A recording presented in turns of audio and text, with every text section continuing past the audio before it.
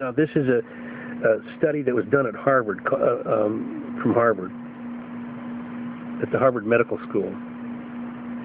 Prescription, prescription drugs associated with reports of violence towards others by Thomas Moore, Joseph uh, Glenmullen, uh, and you know, and um, oh, oh, Curt. We don't want to leave Curt out. Curt Furberg.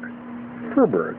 I wonder if, he, if Curt ever got teased about that much in school. It's probably why I went to Harvard Medical School to get everybody to shut up. Okay, so now here's what they say. Violence towards others is a seldom studied drug is a seldom studied adverse drug event and an atypical one because the risk of injury extends to others. Objective of the study. Okay. To identify the primary suspects in adverse drug events, uh, describing thoughts or acts of violence towards others, and assess the strength of the association. Okay, now they're going to talk about, whoops.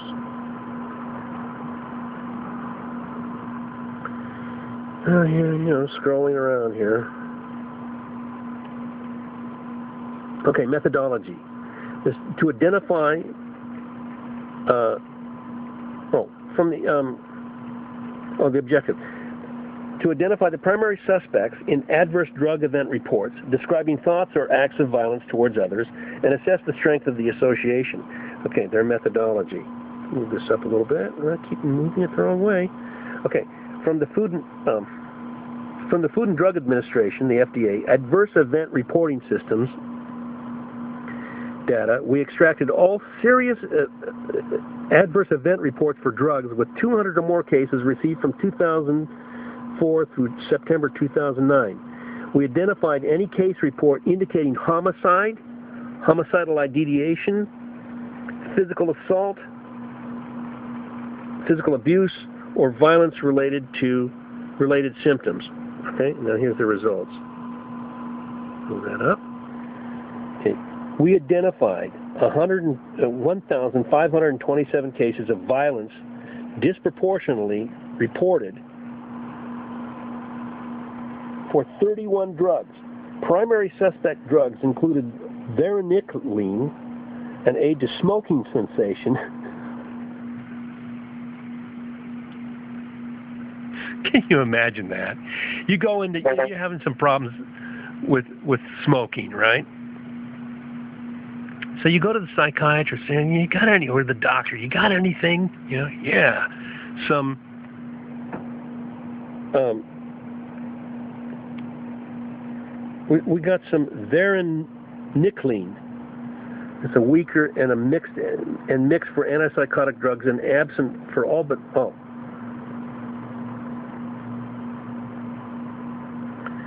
Uh, so 11 and they, they also. Sorry about that. You know, it's hard to. I'm trying to look at this and show you the words on the page at the same time. I'll just read it to you here. 11 antidepressants, six sedative hypnotics, and three drugs for attention deficit hyperactivity disorder. Well, those things are always methamphetamine, right? You can give kids for ADD or ADHD. The evidence of an association was weaker and mixed for antipsychotic drugs and absent for all but one anticonvulsant convulsant mood stabilizers. Two or fewer violence cases were reported for uh, 84.7% of all evaluable drugs, suggesting that any that an association with this adverse event is unlikely for those drugs. Conclusion: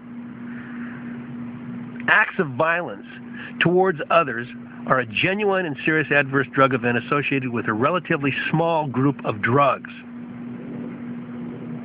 a serious adverse drug event associated with a relatively small groups of drugs. Varenicline, boy, they really hate that one, which increases the availability of dopamine and antidepressants with serotonergic effects were the most strongly and consistently implicated drugs. Ser- in other words, SSRIs. Okay, serotonergic. Serotonin, selective serotonin reuptake inhibitors that's what it is, right? That's what they're using. And this study, a Harvard-based study, links violence to the use of these antidepressants and, and other drugs as well. such as uh, ADHD drugs, meth. Prospective studies to evaluate systematically the side effects. Uh, this side effect are needed to establish the incidence, confirm differences among drugs, and identify additional common features. You know, it's like most of these studies always end up with more study is needed. You know, if you give us some more money, we'll do it, right? Now, here's the kill shot, right? We've established that there's a that there's a definite. Are you listening, Carl? Carl Wolfson, you know, funny man, morning funny man, KPOJ. Are you listening to this? Because this is the kill shot. Here's another Harvard study from the Harvard Medical School. And listen, this isn't the only one. There are other studies that confirm the same damn thing, all right? Harvard University researchers. I'll try to do this one for you.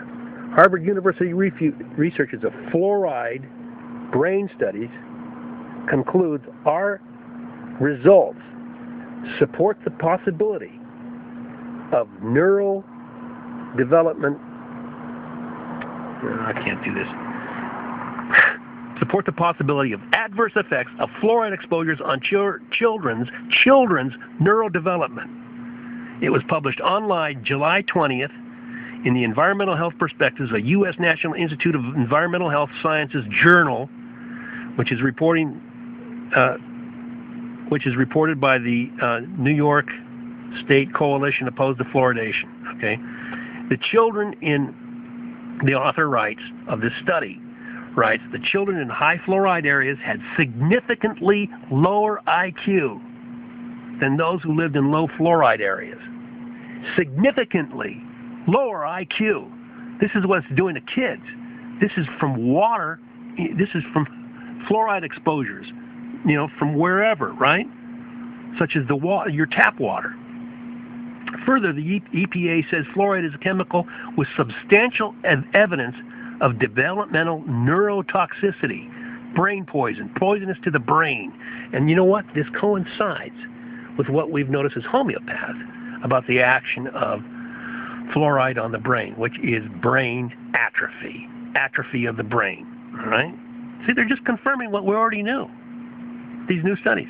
Water was the only fluoride source in the studies reviewed and was based on high water fluoride levels. However, they point out research by Ding suggested that low water fluoride levels also had significant negative associations with children's intelligence. Now, that should give everybody cause to pause. You know, if if these guys are so hot, are so hot, you know, to get this into into Portland water and get this or keep it in your water supply, let's see them take it for a while. All right? Do a proving, what we homeopaths call a proving, on the crude substance. I mean, we take it in potency, which is the dilute, right? To see what the action of the potency will have on people. But let's see these guys, you know, take some of their own medicine. All right? Of course, it's not medicine, it's poison. It's flat out poison. It's so poisonous you can't even store it in a glass bottle. It'll eat right through it. That's how caustic, that's how corrosive it is.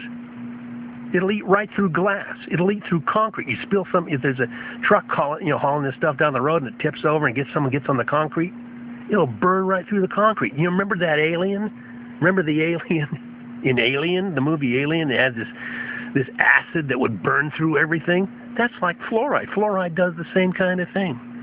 Has an affinity for silicon other and other chemicals. It has the highest electronegativity, which means that it's it pulls. It'll pull in other ions to it. All right, and it'll set things up.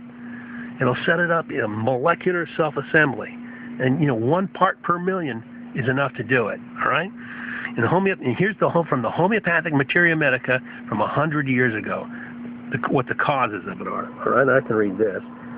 You can read. Oh, you can read along with read along with Jack here. Okay, brain atrophy, hypersexuality, nymphomania, nymphomania. You hear that? Oh, you're probably glad to hear that, huh? Hey, give me some of the fluoride. I want some of that nymphomania. Yeah. Satyriasis. Satyriasis is the male version of nymphomania. Okay, hypersexuality. That's what that is. In addition, flaking skin from red blotches, clinical tumors, Here's another keloid tumors, which is an abnormal proliferation of scar tissue on the site of surgical incisions. Tumors on the on female genitalia. Tumors on female on on on the ovaries. Of course, they're female. Haven't heard any guys having ovaries lately. Uh, tumors on uh, fibroid tumors on ovaries, especially on the right side. Uh, but here's some interesting some interesting um, mental things that go along with with uh, fluoride. A fear of cancer.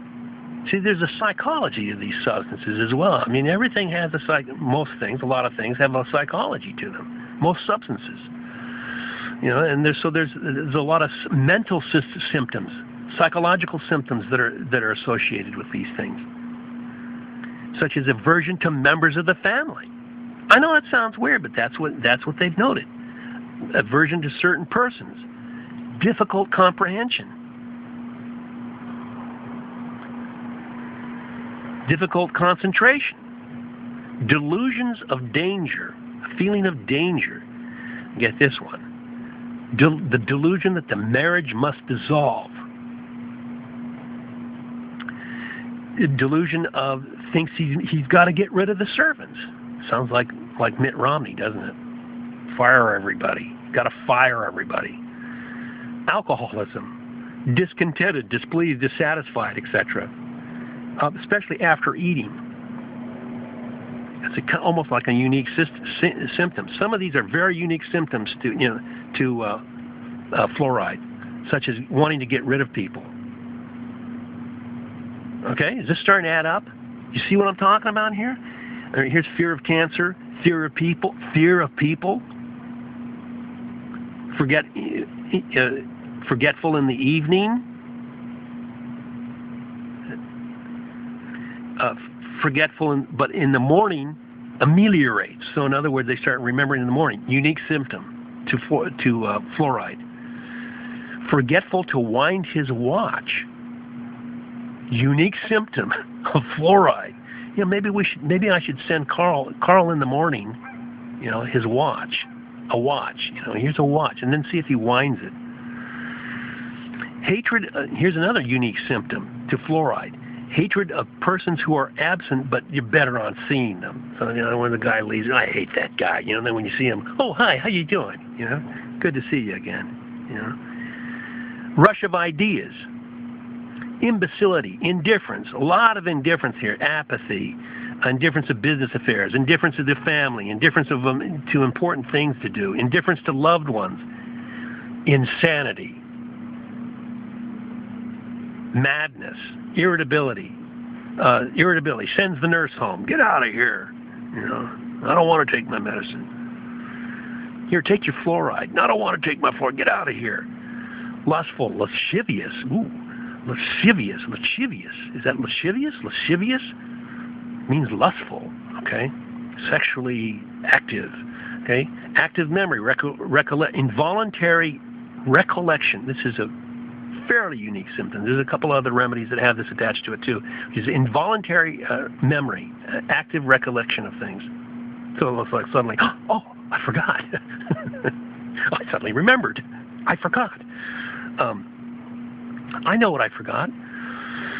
Uh, here's a weakness of memory mirth, hilarity, liveliness, etc. Mistakes in spelling, mistakes in words, misplacing words, uh, wrong words, using the wrong words, opposite words, putting right for left or vice versa, that sort of thing. Nymphomania, I guess we've already been over that. Rage, fury, satyriasis. Yeah, I don't need that monkey on my back anymore. Unconscious, periodical unconsciousness periodical unconscious like falls over, I guess, in the middle of a ball game or something when he's at bat. So sleeplessness, thoughts, activity of the mind. Sleeplessness is from uh, uh, thoughts, and in, uh, you know, it's like he can't he can't go to sleep because he's thinking so much, you know. So this is along with many other symptoms. There's, there's how many symptoms? Let's see, I guess I didn't put the note down here. I want to scroll back. But there's like a couple of thousand symptoms associated in the traditional materia medica for fluoride. Okay, where do we get it? Where do you get where do you get it? You want at any any good pharmacy, you'll have as much as you want. Antidepressant drugs, tap water and well water, toothpaste. Try to find some toothpaste that isn't uh, fluoridated. Some non-fluoridated toothpaste. Good luck. You know, cookware. It's in Teflon. You know, it's got that hardness to it. It's very hard, right? And it's got an affinity for certain things, so it'll stick to cookware. There's a jet going overhead. That sounded kind of weird. Insecticides. Tea, especially powdered tea. Look at the um, Alex Jones on one of his websites has a thing on fluoride. It's either Prison Planet or or um, what's the other one? Um, Infowars is another one of his, right? So Alex Jones has done has an interesting website where he lists all these all the, fluoride content for various things, and the tea the, the fluoride content for tea is very high, but the, for some reason the fluoride content for powdered tea is outrageous. It's just through the roof, man. It's like and and they they give an example. I read an example somewhere. Of some woman who drank too much powdered tea and her bones began to crumble. She got brittle bones, and brittle bones is one of the triddle, one of the uh, uh, traditional symptoms of fluoride poisoning. Another source of fluoride is um, a lot of fluoride is wine. Grapes, you know, they probably use it. They probably use fluoride as as an insecticide on grapes. They probably spray it on the grapes, you know. So, you know, once again, we're obviously over fluoridating ourselves. Once again, for the enrichment of a few at the expense of everybody else, including the few. they don't know that they're killing themselves. Oh, there's yeah, there's 2,491 symptoms listed in the uh, re- repertory of the Materia Medica for fluoride. You know, that's how that's how they how much they've studied this for it. You know, for it. I mean, uh, there's other substances like sulfur that's got all over 11,000 symptoms listed for it. You know, hey, what's sulfur good for? Well, here's a book. You know.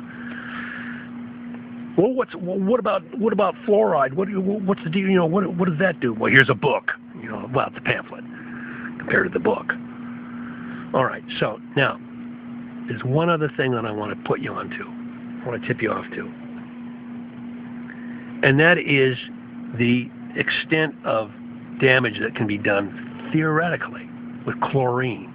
Chlorine's another halogen fluorides are fluorine, from which fluoride is taken as a halogen, like chlorine, and chlorine's a halogen. So there's some similarities here. But when chlorine hits organic matter, it forms chloroform. And chloroform, in our traditional materia medica, has a psychological effect for causing a person to have a desire to kill. Desire to kill. We need more study. We need a better study of what these substances are doing to us, and we got to get a grip. Okay? Get a grip.